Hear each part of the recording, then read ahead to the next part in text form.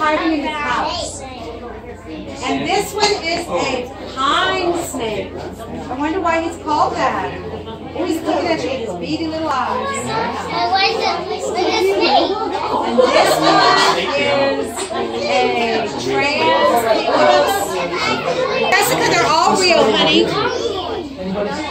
Ooh, that's a big Whoa! No screaming, we have to use our inside voice tonight. No, no, no. Over there in the corner. Italy.